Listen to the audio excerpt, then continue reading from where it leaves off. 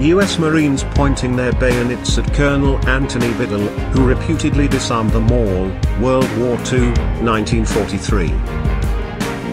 Jamaican musician and singer Bob Marley kicking a soccer ball, Paris, 1977. A view of a street in San Francisco, California, 1958.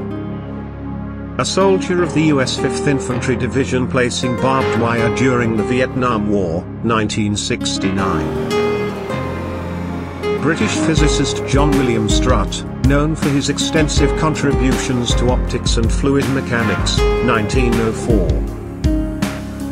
A group of assistant engineers of the Army of the Potomac, Virginia, 1864.